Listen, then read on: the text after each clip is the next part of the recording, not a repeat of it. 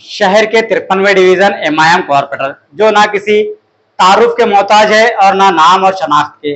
क्योंकि नाजिम ये बात हम इसलिए कह रहे हैं क्योंकि MIM division 53 corporator M A Majid Siddiqui, जो एक अपनी मुनफरद शनाख्त और नाम रखते हैं अवामी खिदमत और इनके मसाइल के हल के लिए।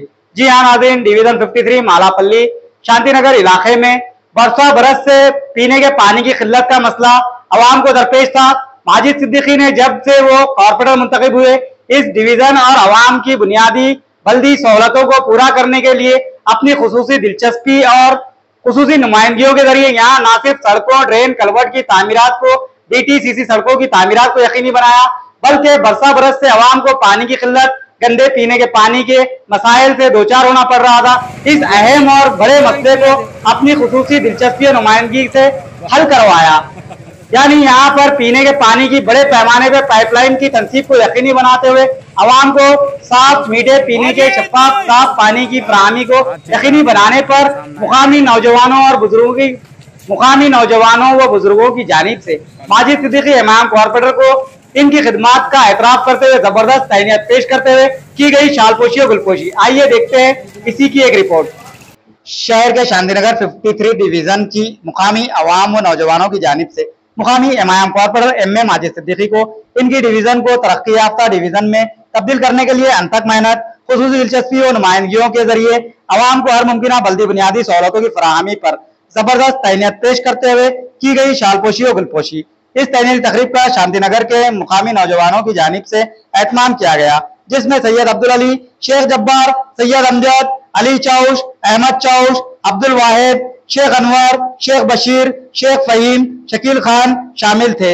इन्होंने बताया कि माजी सिद्दीकी ने कॉरपोरेटर मंतखब होने के बाद से लेकर आज तक डिवीज़न को तरक्यात डिवीज़न में तब्दील करने के लिए खसूसी नुमाइंदगी और दिलचस्पी के सबक, इनका डिवीज़न तरक्यात डिवीज़न में तब्दील हो रहा है। और बरसा बरस से चले आ रहे पीने के पानी के मसले को माजी सिद्दीकी ने हल करवाते हुए यहाँ पर बड़े पैमाने पर वाटर पाइपलाइन की तनसीब को यकीनी बनाया।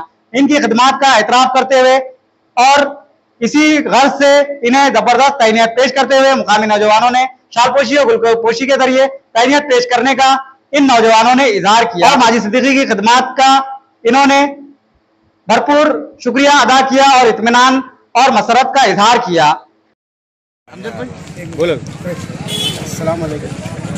हमारे वार्ड नंबर 53 में सबसे बड़ा प्रॉब्लम पानी का था जो माजी सिद्दीकी साहब कॉरपोरेटर बनने के बाद। बहुत बड़ा प्रॉब्लम हल करे। और एक रोडों का भी बहुत बहुत बड़ा प्रॉब्लम था। रोडों का प्रॉब्लम हल करे नालियाँ का। और तकरीबन अच्छे अच्छे अच्छे प्रॉब्लम हल हुए। अभी बहुत थोड़े कुछ है इन वो भी होंगे। और हाँ? लाइटा वो तो लाइटा का भी करे। और हॉस्पिटल का भी बहुत अच्छा काम हुआ। और अपना पीला स्कूल का भी बहुत बड़ा काम हुआ। वो भी थोड़े कुछ काम हुआ बाकी स्कूल के। हॉस्पिटल का। हॉस्पिटल का भी काम करे वहाँ जाके तकरीबन। और भी करना उसमें करना बाकी है। हॉस्पिटल में भी बाकी है केला स्कूल का भी बाकी है। तो इस खुशी में हम लोग आज ऐसा माजी सदियों के साथ ये एरिया में बहुत अच्छे काम आ करें, बहुत अच्छे कॉरपोरेटर हैं, नेक दिल इंसान है। इसलिए हम लोग सब महिला ने हमारे जानी से ऐसा उनकी आज गुलपोशी और साल खुशी करें। हमारे माजी साहब का शुक्रिया अदा करने के लिए हम यहाँ पर सब एक जगह जमा हुए हैं। पोशी और साल पोशी किए हैं, ताकि इसलिए कि एरिया के काम बहुत अच्छे हुए, नल का या पानी का या रोड का। रोड का काम काफ़ी दिनों से रुके हुआ था। जब माजी सिद्दीक साहब आने के बाद ये काम को पूरा अंजाम दिया गया। इन और भी इनसे उम्मीद रखते हैं कि जितने भी काम बाकी है, वो पूरे आने वाले